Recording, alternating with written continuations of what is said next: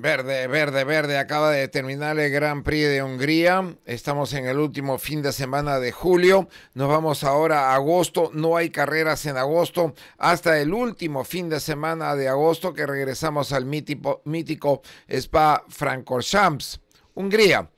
Había la lluvia que iba a llegar, nadie sabía.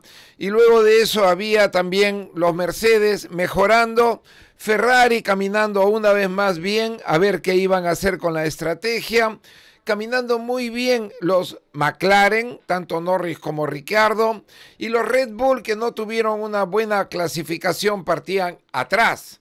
Pérez y Verstappen, Verstappen y Pérez partían ahí atrás. Décimo y undécimo. Décimo Verstappen. Entonces eh, cambiaron motores. Ayer tenían dentro de los cinco motores disponibles en la temporada como para cambiar. Entonces fue una manera de precaución antes de irse al verano europeo y luego tienen todavía motores para usar y seguir utilizando diferentes piezas de los motores de esta tan complicada, prácticamente diabólica fórmula híbrida que ni ellos pueden todavía figurarla en Sandburg del año pasado. Un auto nadie se le podía acercar porque creían que estaba electrificado.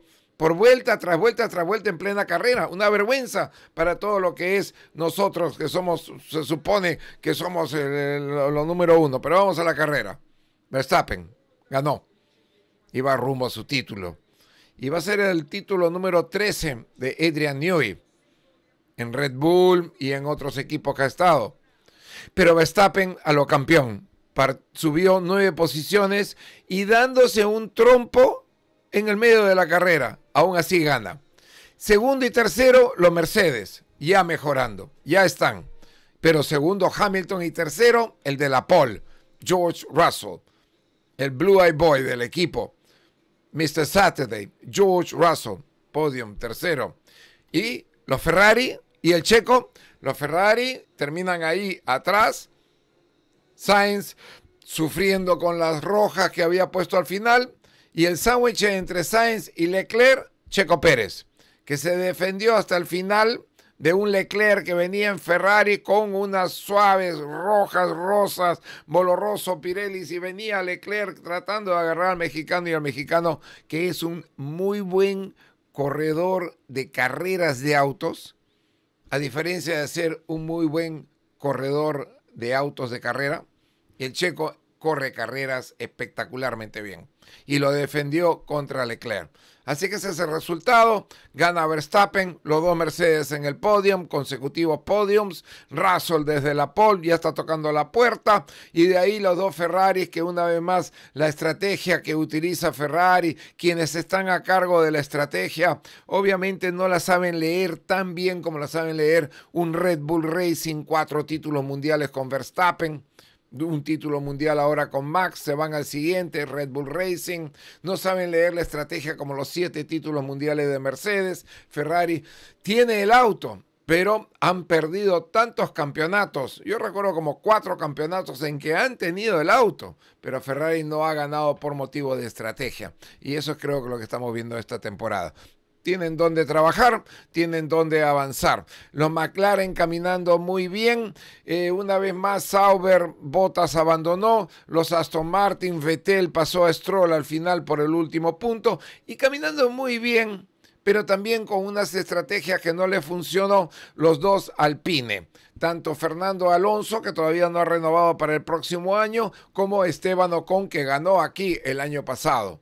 Así que fue una carrera buena a Hungría para decirle adiós y nos vamos al verano europeo hasta la siguiente. Y por supuesto en IndyCar está también peleada la categoría. Está muy, muy peleado ese campeonato, no se la pierdan. Tenemos carreras en Nashville, en Gateway y luego dos en septiembre en Portland y en Laguna Seca, donde es ese auto es ahí en Laguna Seca, donde hice mi debut en IndyCar. Soy Jorge Keckling, a nombre de todos en Automundo. Que pasen un buen verano europeo, un buen receso de agosto y será hasta la próxima. Verde, verde, verde. En el Campeonato Mundial Verstappen se dispara.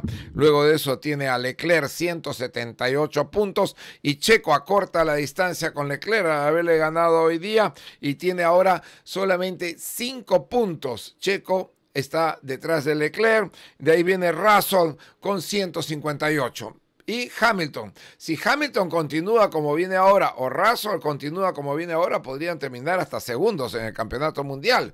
Ganarle no solamente a los Ferrari, pero ganarle también al Checo, porque Sainz viene atrás de Russell.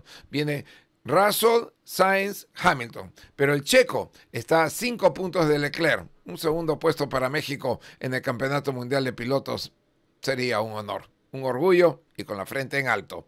Verde, verde, verde. Será hasta la próxima. Jorge Kecklin.